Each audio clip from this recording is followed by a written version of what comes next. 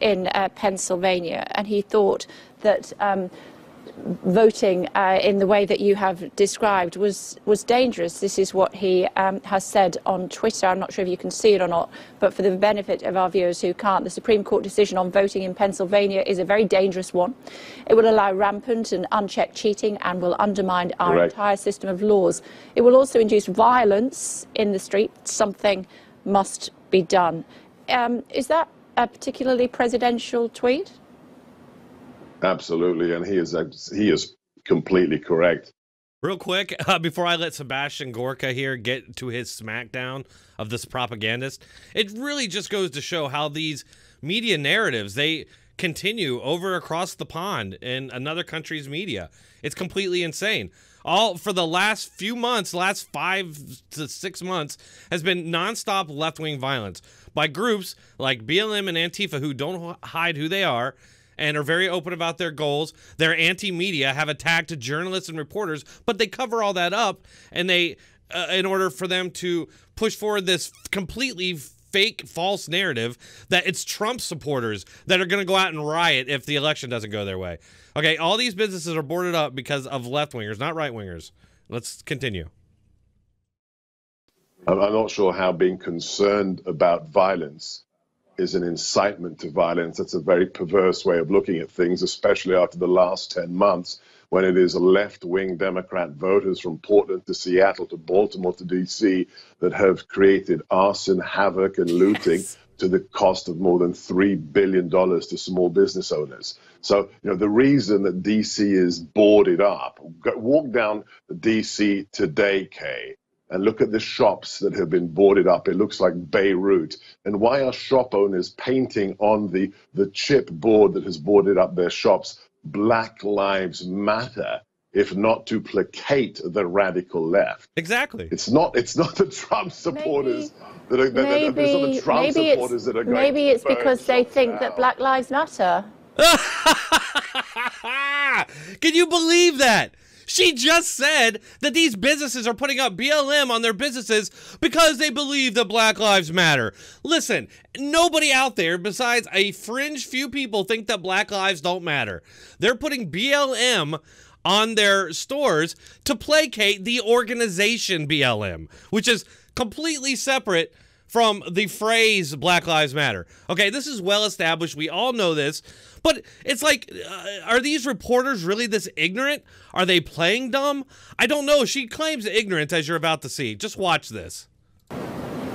No, it's because they want to make sure that they're not the ones who have their shops burnt to the ground. Come on, show a bit of common sense, please. Okay. If it were, Um, what if, about it when? were, if it were Trump supporters that, that were the threat, they'd be saying MAGA on the shop fronts, and they're not. So the violence has been normalized by the left, and it is a disgrace. Okay. What about um, Trump telling the far right group, the Proud Boys, to stand back and stand by? How should we interpret that? Hold on, real quick. Ex- I, I, I, real quick. They mangle. What is it with Trump quotes in the media where they just completely mangle it? Okay, when Trump said it, I kind of cringed. But uh, he said stand down, stand by, not stand back. And they, they always get that wrong. But as Gorka is going to point out here, he was telling them not to do anything. And I'm, I'm going to get into that some more. But let, let's uh, let's go through this here real quick. Exactly as he said it. Don't take action. Uh, but to stand by? Stand back, stand down, stand by, and wait. No, he didn't Exactly say stand down. He said stand by, didn't he? Stand by do you know, means do you know, do you know don't, what uh, the proud? Do you know what the He Proud said Boys stand are? down. Can you tell me what they uh, are? tell me about it. Tell me, tell me what they mean you, to you. No, you tell me. What up? No, you tell me. no, 'cause no, I'm the raised it. interviewer. You tell me what they No, no, mean to you you. raised it. You raised it. So tell me why you're asking me.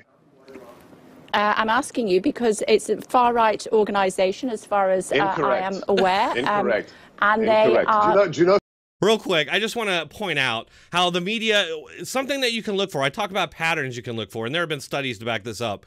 But the media uses the term far right, right winger, um, extreme right, th- those kind of phrases. They use those with abundance. If they want to uh, discredit an organization or their political opposition, somebody that's maybe uh, uh, bringing up information that the Democrats don't want their voters to hear about, they'll just demonize those people as far right. What you will never hear them say, or very rarely, are left wing. far left, liberal, communist, socialist, Marxist. They don't use any of these terms. Very, very rarely. And if you do find it, it's in print media. And this group, what makes them far right? Who knows? What what violence have the Proud Boys committed? I don't know. The only thing I know about is that they've gotten in fights with violent communist mobs. That's about it. Uh, other than that, as far as I know, uh, they haven't done anything and haven't threatened to do anything. But let's continue. Know who runs Okay. the Proud Boys? Please, Do you know please who runs the Proud Boys? I, I'm A completely black- ignorant of them. Please tell me all about them. Well, that's that's a real indictment of, of Sky News that you are ignorant about the organization you are asking me to comment on live. The Proud Yes. Boys Okay. is run by a black Cuban American. So how would that be far right? okay, so you, you don't feel that they are a far right organisation? Uh, a You're far right organization wouldn't be run by a black Cuban American now, would it, Kay? I don't know, um, and I'm glad that you I offered me think your you view know. on that. I'm sure I that my think view, you know. I'm I sure that you my viewers will make think you know. their view, uh, their view. All right, well, we just went through that video and I, I found it highly entertaining. Gorka pointed out several glaring problems with this. This reporter doesn't know anything about the Proud Boys, but just calls them far right as a boogeyman to use as a cudgel, as a weapon against Trump, his supporters, his uh, his spokespeople in the media. They don't know that all the violence that's going on out there right now, all the violence being threatened, is being threatened by left wing groups, by far left Democrat voters. It's not Trump supporters going out there threatening violence or committing any violence.